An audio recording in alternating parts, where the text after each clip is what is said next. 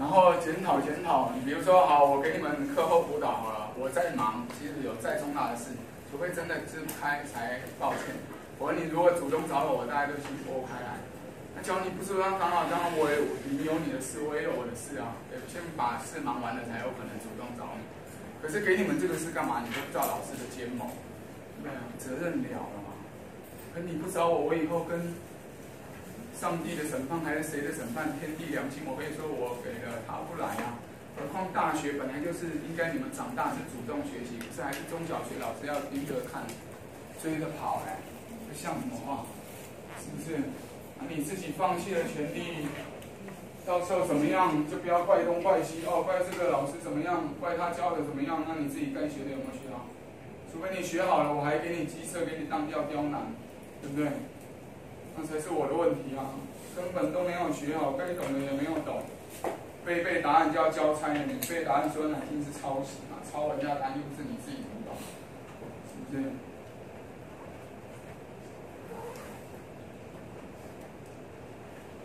你看我讲。中文音，对不对？我课后就是录一起读懂时间要，哎，怎么有陌生同学？我没有私底下再去看，当然可能有，可是那有时候只是片段的，不是专门去准备。我就这样准备啦，我没看别的参考资料，我怎么会？这是我自己的嘛，我不是看着参考资料来教他中文音上海你讲些什么，那是别人的，这是这是我自己。其实我的跟人家雷同，那叫什么？英雄所见略同，那更好。是我没有想歪嘛？你要学的不是学这个吗？是学人家答案是，就像骑脚踏车，对不对？难道永远要挂着两边的辅助人你才会骑？要自己骑了，走出自己一片天了嘛？对不对？只要不跌倒就是骑对了。你管我要单单狗链，要单手骑，手扶手把，可能骑的不会倒，都是骑脚踏车啊，不是吗？为什么永远要挂着那两个辅助人呢？你看，你人生会这样学，否则你说骑脚踏车辅助人跟学国文什么关系？你就不会去这样去联想，给自己有启发，你才知道什么是该为，什么是不该为。不是用自己的喜好好恶，对不对？我爱做什么，我是怎么样，以我为标准。你爱做什么，大家都以自己的喜欢好恶做标准，都不要来上课。谁喜欢上班上课？大家在家那挺好，行不通的嘛。你说到处写的文笔，才到这了，好吗？这是一个重点，为什么？现代文学教跟古文不一样，它怎样？它已经有标点符号了，这标点通常都大家打，除非我们台版课本台版台错，所以它标了一个引号，通常是什么？像大陆要讲我们，我们比如说有总统府哈，他怎么写？总统府，然后这样，因为他不承认你是一个国家嘛，独立政权。一个中国，对不对？他觉得这是伪。那我们要称他们国台办呢，也可以这样嘛？对吧？我们是中华民国宪法，我们也不承认你那个伪政权，你们是判断查实嘛？本来不是还有动员看，这是历史可循的，是说，对不对？这历史明文的，后来才解除动员看呢。我们也可以标这个啊，所以这标这个的意思就有意在言嘛，而且很明显就是有假的意思，不是真的，是真文明啊。那再来文明，你看看。一个是文明是白话文啊，整篇文章都啊，什么叫文明？自己想想，为什么用文章的文，文字的文，是不都跟文字跑不掉关系？没有文字会有文明吗？不可能嘛，impossible。你看历啊，我们班没有史学系，历史什么叫史前时代？什么叫历史时代？用什么做划分？有没有修法啊？文字的发明，文字多重要？为什么文字重要？其实文字不重要，你看你不要被洗脑。只要那时候发明了。Apple 手机的话，对不对？录影机、录音机，文字就不重要。文字重要是重要在哪？是不是因为它是文字？是因为它有记载、传承的功能，对不对？懂不懂？要知其所以然，不是因为文字重要。文字重要是我今天有了知识技术，我是不是可以写出文字？我死后你也知道我曾经发明过这个，你才能学佛了。我死了就带走了，什么也没了。对呀。是，是文字跟文明是息息相关。可是，假如一个文明最后只剩下一个文字，你看标语是什么意思？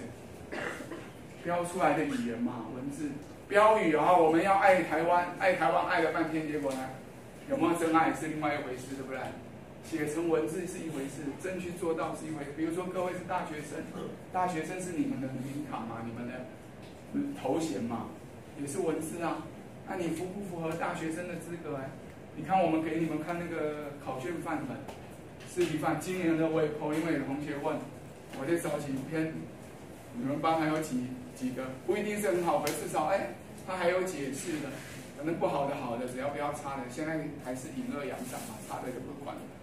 嗯，不是顶好的也可以参考参考，你自己看看那个写的比较详细的是不是比较像大学生？自己扪心自问，这是遵守真的标准。自己比较不怕不识货，也许你程度不好，跟你比较也知道你这个应该要拿高分嘛。我相信你不会觉得那个写很少，然后只写一个翻译的那要拿高分嘛。自己扪良心嘛，除非你是不爽我，故意要跟我对干，你才会赌气说那个才要拿高分。自己平常心讲是不是？大学就是求真理、讲道理的地方啊，不是灌输。你看你们现在学国文干嘛？以后也不考试了，最后一堂国文课了，不是为考试读，而是为你自己这一辈子。你的国文能力以后自己不加强，就只有靠这最后一节国文课传给你了。我为什么一定要灌输你们九阳神功？那个不是我的，就是常常碰到这九种读文章的方法。七星大法是提醒你，对不对？有些是文学语言，你看曲舍万殊，要想成数字的万，要想成什么程度的万，对不对？大大的不同，因为你万是不是有大数目的意思？它有时候取大，有时候取数目，你要上回上下回带回二度，你才知道它到底用万是用什么。比如我讲银法族，是用银的什么特性来形容？绝对不是拿金金属，对不对？这叫文学语言嘛，科学语言对吧？银就是银，一定要含金属特性，对不对？不能抽离的。文学它就是可以抽离，给你乱搞，就是你们爱玩的恶搞，恶整金新文。金新文其实说难听，就是一种文学的伎俩他。最常用的是哪一招？谐声双关，对不对？你自己看那种金星文、火星文，对不对？他不就搞一些谐声同音字，还是在搞修辞啊？那你掌握他们搞的这个把戏，你才懂得。哎，你多了一些把戏去读文章，你是不是多了一些切入点，多了一些结果的手术刀？你就知道怎么去结。哎，只要带回去文章这样讲可以通，你也许就发现新的解释了。你看上海是文明的城市吧？有没有人否定？绝对不会否定嘛。上海，不要说爱台湾，上海跟我们的鹿港，你觉得哪一座城市比较文明？应该选上海，对不对？何况它是国际大城，那纽约跟鹿港呢？那更不用讲了。那上海还有可能有中国企业不想选它。那纽约跟鹿港，我看巴黎跟鹿港，哇，这时候不爱台湾了。可是文明，你是觉得什么？哦，它繁华、经济茂盛叫文明哦。可是今天，假如你去纽约之后问路，人家骗你怎么走，对不对？给小费吗？人家要多赚你几块钱。可是你去鹿港呢，没有。迷路的时候，人家带你怎么走，对不对？没钱的时候，人家还赞助你一些，怕你肚子饿着了。你想要去哪个城市？鹿港吗？哪一个才是文明？懂意思吗？文明是表象吗？文明是你追求的那个繁华。你看他那个书名，回到导读，我的上海的华丽和什么苍凉之心啊！一个华丽文明的城市，也许它才是最荒漠苍凉。因为它什么？它被掏空了，它空有外表的文明，对不对？里面可能已经没有人味了，就是行尸走肉嘛。以后可能已经没有人情了，这是不是让你醒思？到底人类追求的文明到底是哪一个？今天如果上帝跟你讲，好，各位，我们现在发明 Apple One Thousand 好了，对不对？一千，现在才 Apple 十嘛？现在 Apple 到几？iPhone 到几？iPhone 的石油价，iPhone 一千哈，另外一个 iPhone 都没有的世界，可是很有人情味。你迷路了不要怕啊！iPhone 一千的世世界是怎样？科技很进步了，科技带你走嘛。反正地图像现在 Google 地图。可是对啊，另外一个世界是没有 Google 地图带你，可是你走到哪都有人帮助你。你要哪个世界？啊，自己选啊！这就值得醒思啊！我们没有说科技绝对不好，可是。有你去想的空间？文学家为什么会写出一篇文章？他在生活会去想这些问题啊。不是用 iPhone 就只有便利了，对不对？手机就是好处，他都没有想到坏处。那一样，你不能光讨厌科技，手机科技都是坏的，都没有好的。这不就刚刚提到七星大法吗？永远注意对立面嘛，不要死在一点上，是不是？你看我七星大法里头已经，为什么要这个？故意拿一个口诀，像武功秘籍，你这样背，你不是爱背吗？刚刚一开始来讲背人家答案来塞给老师就交卷了，就是我的国文成绩了。爱背为什么不背这个呢？才十六招，背不起来骗谁？何况一直被我洗脑，对不对？那你背这个干嘛？碰到的时候想想自己有没有死在一点上，有没有想到对立面，有没有想到别的可能？你其实就在用七星大法。那你如果不喜欢七星大法，你自己取个名字嘛。你像人家说这个是我创的，我创的部分就取名字吧。原理、原则、方法那是大家通用，不是我创的。我只是创了那个名字叫七星大。你不喜欢用那句话，用别的名字吗？是一样啊，大家都不要死在一点上，你就想其他的。那怎么知道我想的对不对？待会你现在到底在读什么，你就知道你想的对不对。嗯。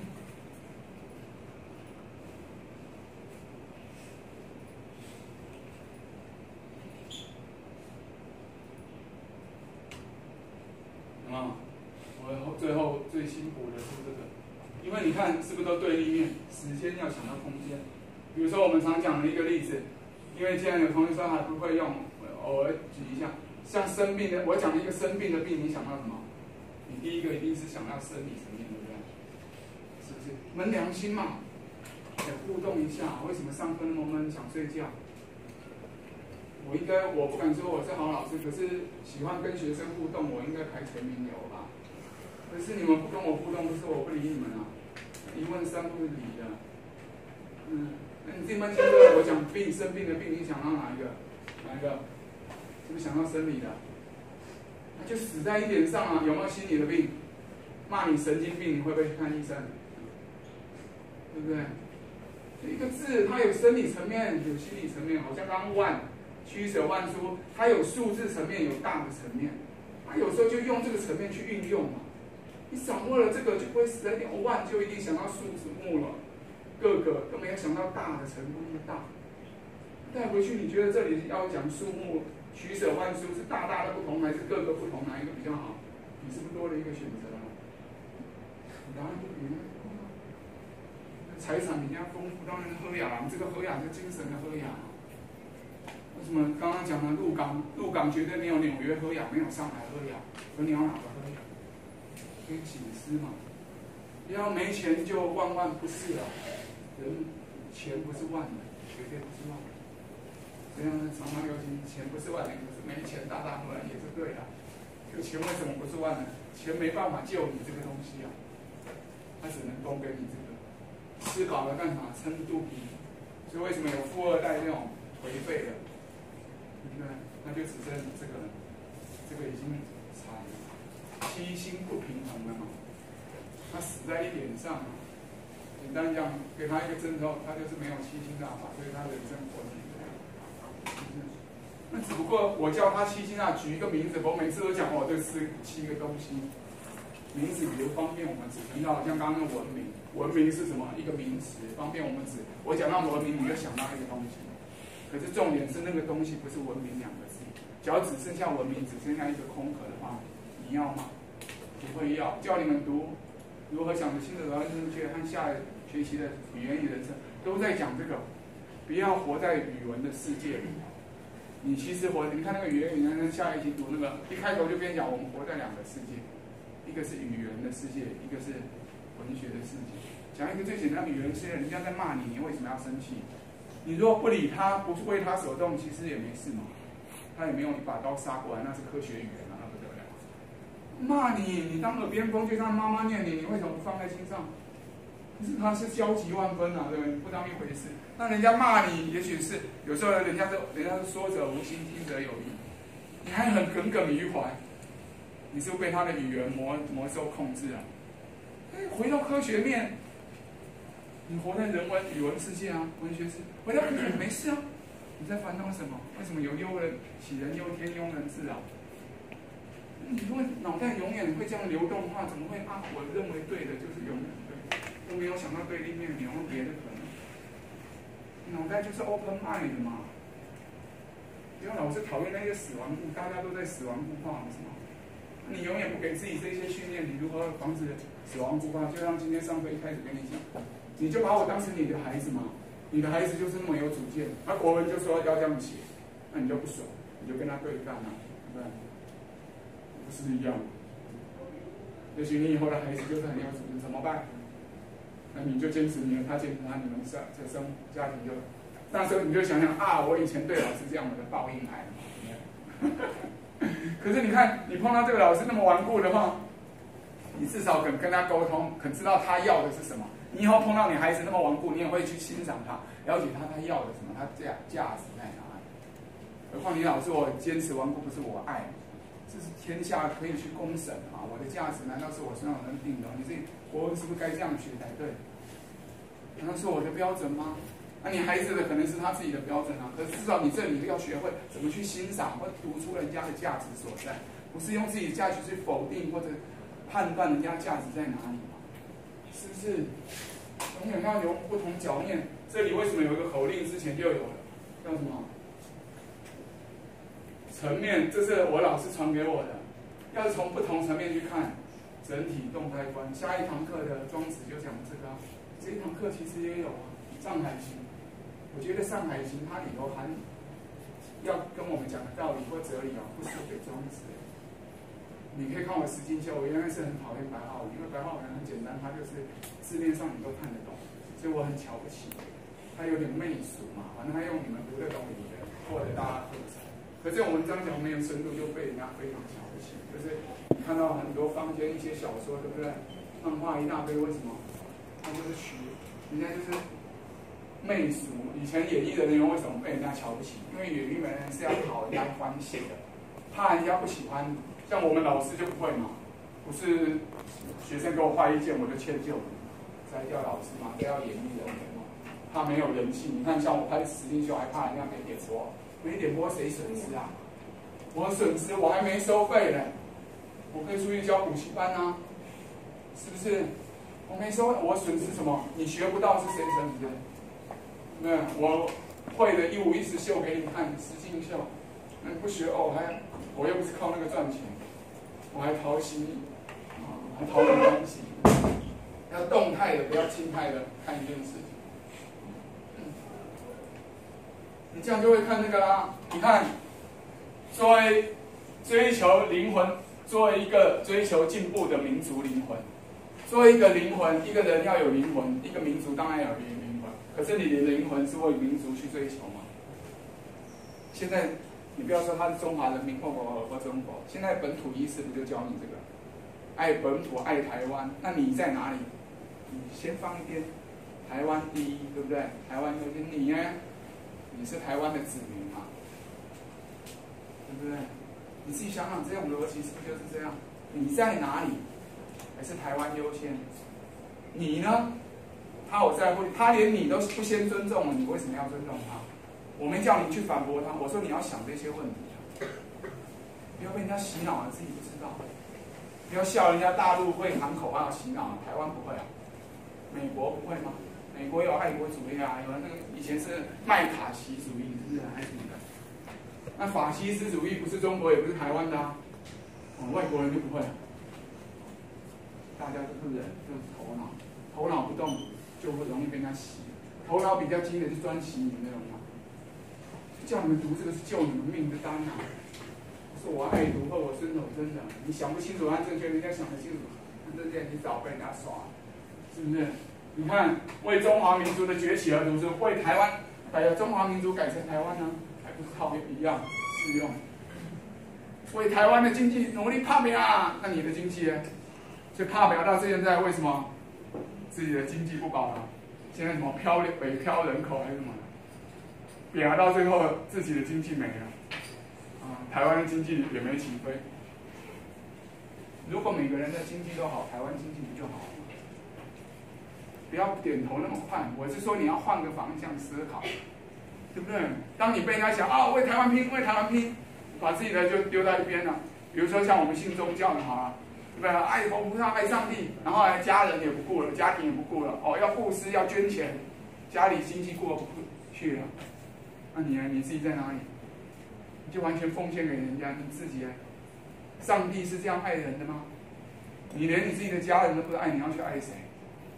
你自己要去想这些啊，对不对？好像人家捐一百块，他我就要捐一千块，人家一千我就要一万，跟人家比，被人家跟人家比了，你不是真的在学爱上帝、爱世人吗？神爱世人，常去检讨自己的一些，这真是八股嘛？对他的？八股变成那种形，什么叫八股？八股一个制度，它后来会被改革，是僵化的。刚开始为什么会？产生，它一定有好的一面嘛。八股文刚开始会盛行，一定也有它好的一面。只不过后来僵化，通常僵化都是什么不好？灵魂没了嘛，只剩下文章的形式，对不对？要照八八种股来排序，那文章里头到底什么内容就不重视了，那才是，所以灵魂才是什么？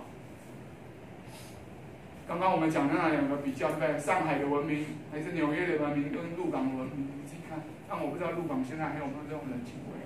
我只要提一个，你觉得比较淳朴，还有一点，对不对？保留一些古早。你看现在买吃东西，为什么喜欢吃古早味？因为怕新的也喜欢吃新的，可新的不时爆出食安问题，对不对？老字号的可能比较保可靠或怎样，或新的也不知道它加什么口味，搞创新，什么都没啊，还是古早味可能保留了什么部分。所以这也是新知道，老的不一定差嘛。新的不一定好嘛，可也不表表示老的就一定都好啊。所以你脑袋才不会死在一点上，因为看到老的好就老都说老的好，新的又变不好；看到新的不好都说新的不好，新的都没有好的，是不是？然后就事论事嘛。你看读书还要扣上中华民族的崛起，我问你，你现在读书有没有扣上什么？你不就会读这种文章吗？难道只是扣上中华民族的崛起，跟对你都没有关系？你要想想读到这，你现在读书扣什么帽子在读？你是为自己读吗？你是为了以后的自自己的经济读，还是你为了我喜欢机械系机械的原理在读？为了学问在读？你音乐系是爱音乐而读吗？还是扣了什么帽子在读？嗯？曾经问过自己这些问题都没有，反正混混我爱怎么过就怎么过。我们佛家里头有一句话讲，叫“随业流转”。我讲一个最简单，你都没有想过我爱什么，你怎么你就问自己一个问题：你怎么会爱这个东西？你自己去探讨这个问题，你自己都不知道。我说我今天喜欢吃咸的，你要问问自己，我怎么喜欢吃？那我的同学怎么喜欢吃甜？难道这只是简简单单一个个性就了结？你今天如果随着你自己好恶去做任何事，也许你被一个冥冥之中的线在牵引你的手，你有没有发现？那是你自己吗？对，吃吃到喜欢吃咸，吃到肾脏病或什么，那就把自己牵到肾脏部癌症。喜欢吃什么，吃到癌症对不对？我想那些得癌症得病的，没有人拿着枪逼他吃嘛。他们绝对也不是讲究营养、讲究卫生嘛，一定都是口腹之欲，对不对？爱怎么样？爱怎么样？爱怎么样？好像有一条线就带你带到哪去？那是你吗？你的话，你应该知道什么东西对自己有利，什么对自己不利去做、去选择，而不是好像闷着葫芦，我爱怎么样就做了，是不是很香？你这就蒙起来，你这这不是俗话里头讲良药苦口吗？苦口的就不要，然后病也不管了，是这样。也不管那个药到底对自己好不好，因为我爱，我爱的不是不是苦的，苦的我不爱。啊，所以什么都不要。为什么人可贵？是理性的动物。动物为什么比人低等？因为它没有这个理性和智慧去判断、分析嘛，检讨和反省嘛。你把你人这个最可贵、异于禽兽的宝藏丢掉，我问你，你以后要做什么？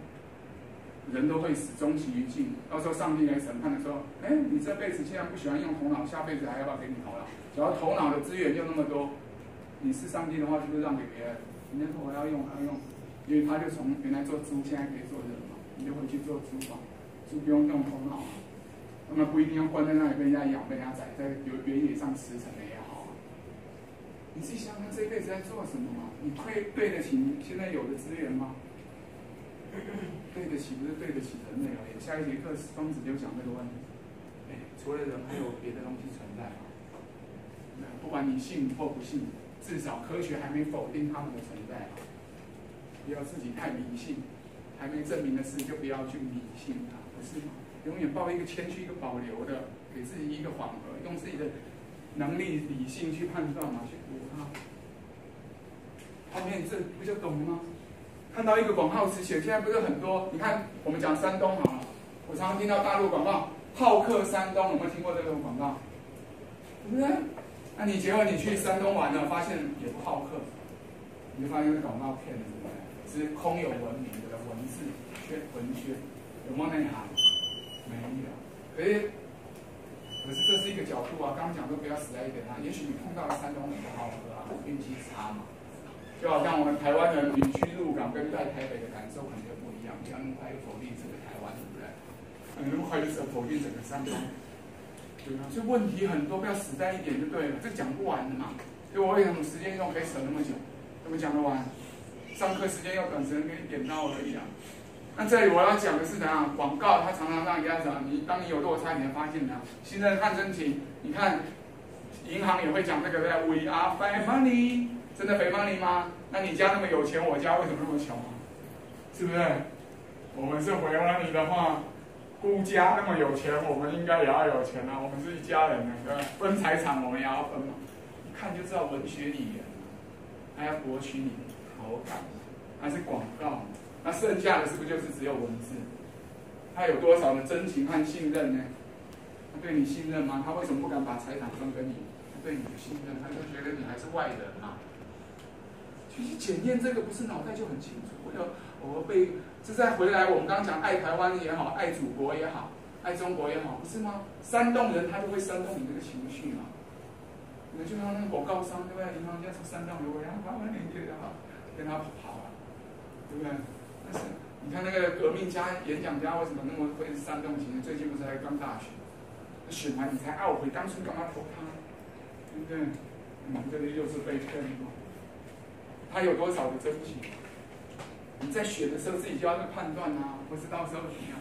像我这一次，因为不是大排长龙，我就没有投到票，我投三次，看到人好长，我就不投了。如果本来是要投，我可以跟你讲，我要投，我要投科批啊。那我为什么要投科批？因为只因为怎么样？不是他多好，他是圣人，只因为一开始我记得他刚上任的时候，不是把台北桥那里拆了吗？觉得他有在做事有效率，可他后来怎么样？我不知道。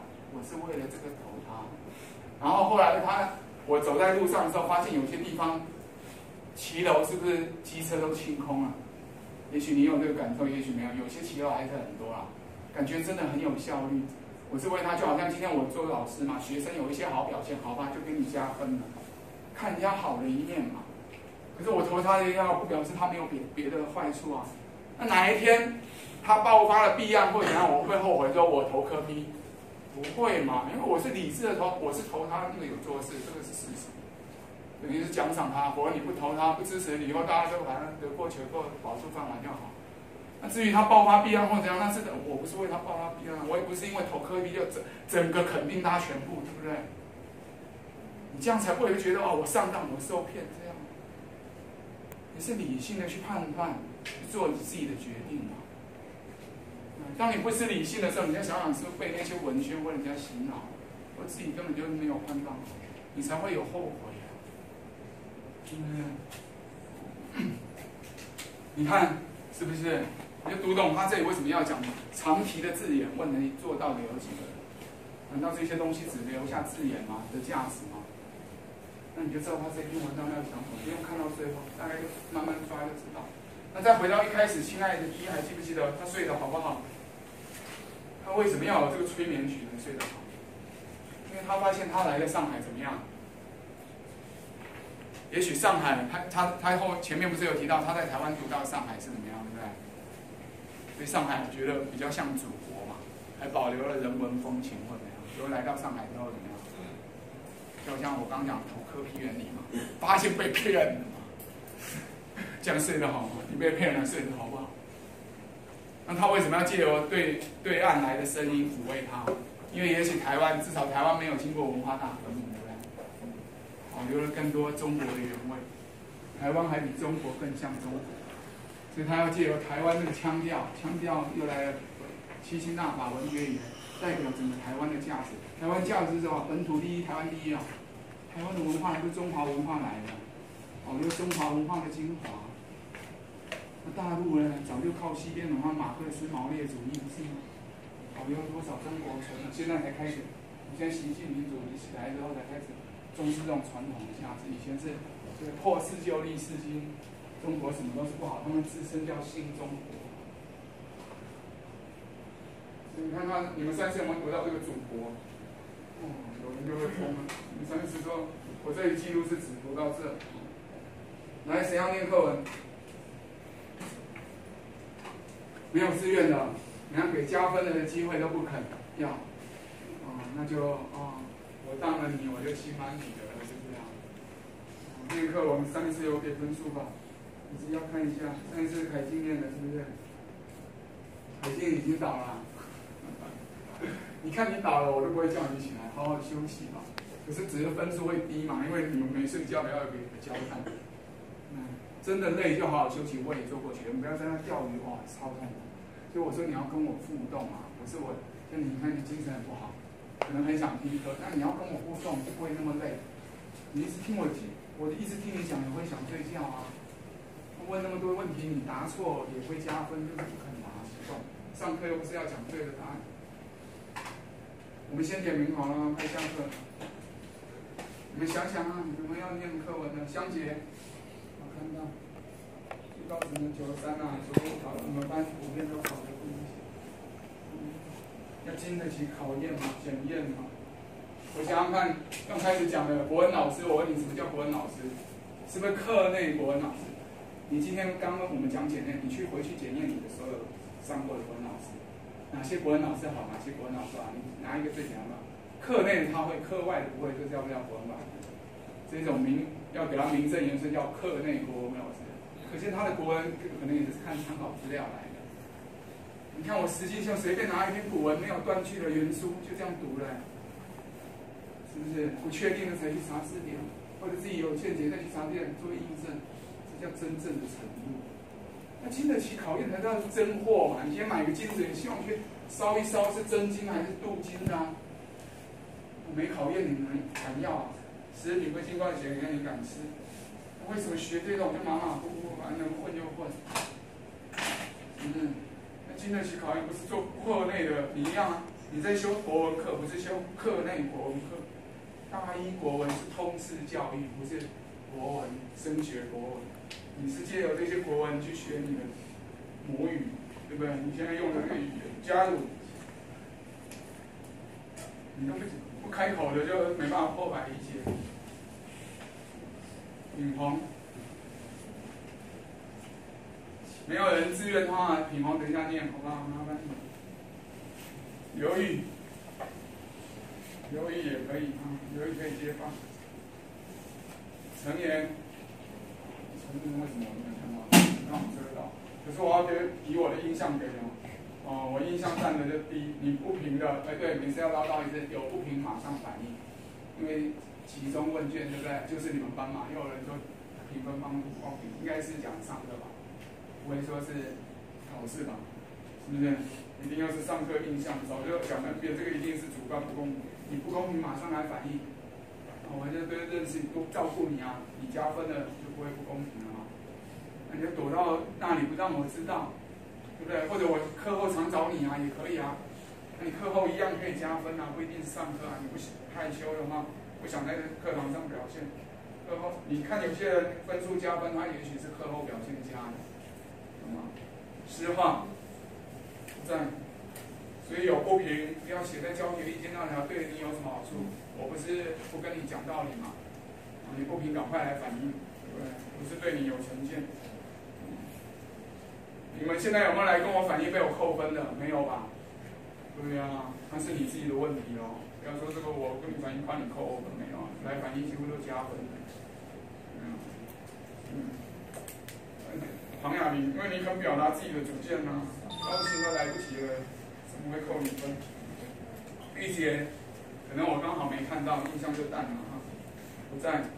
方耀，方月对不起，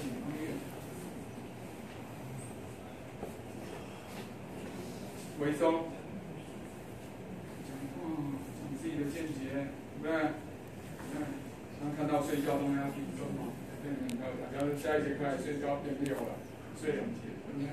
没有来一定都记得。却有一天至少要付车马费，是不是？所以什么都讲道理的。云彤，认识的。燕婷，原谅。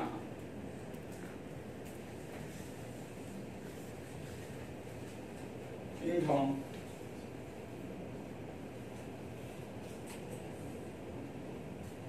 香芹，秋香芹不在，明轩，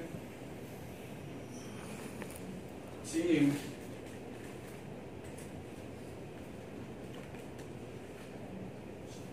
确定了我就叫了啊。修了哈，知颖，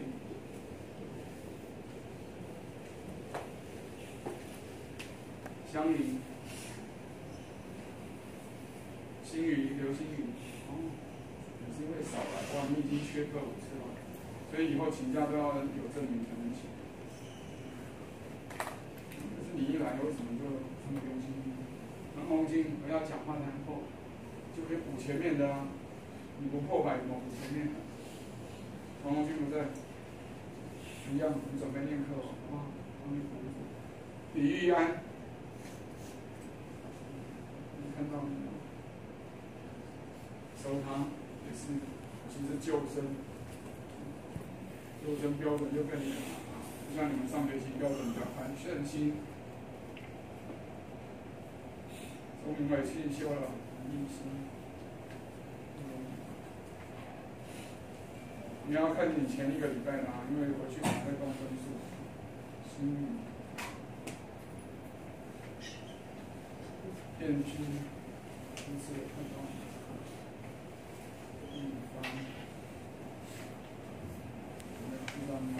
感觉好像有刚往后到，明显精神的啊。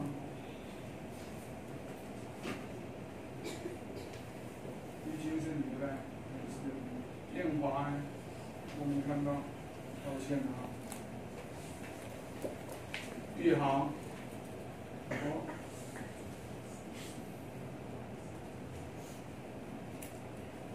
玉鑫，张玉鑫不在，第一名，摄影师。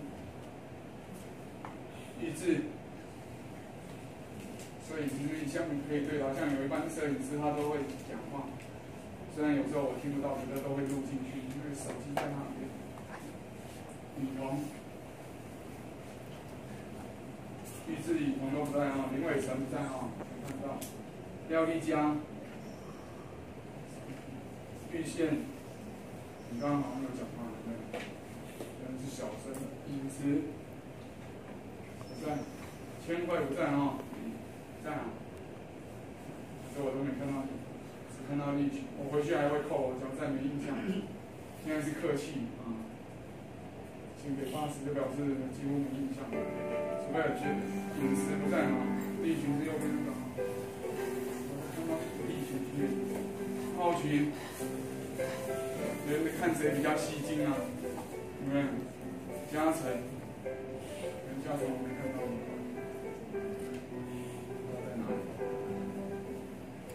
因为。